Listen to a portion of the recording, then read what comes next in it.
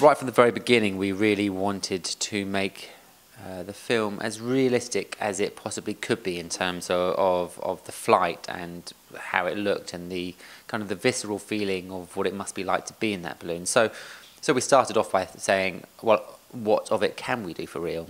And, and that led us to building our own period accurate 19th century gas balloon and uh, we took that up in the air and Eddie and Felicity did a number of flights in that balloon and we filmed in a helicopter um, so a lot of it was done for real. We did have a stuntwoman climbing up out of the basket at 3,000 feet over over the United Kingdom and climbing to the top.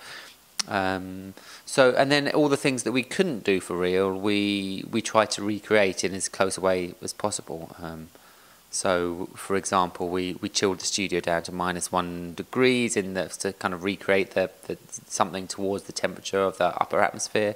We um, uh, Eddie and I went on uh, hypoxia training and uh, and went to this Ministry of Defence airbase um, in the UK where they, they put us in a decompression chamber and took us up to the equivalent of, of 30,000 feet and starved us of oxygen. Um, so we kind of we sort of embraced all these things just to try and, and give Eddie and Felicity the tools they needed in order to, to to convey what it was like to be at that, atmosphere. But in terms of the visuals, there was some that that, that obviously we had to shoot in a, in a green screen that we couldn't do for real.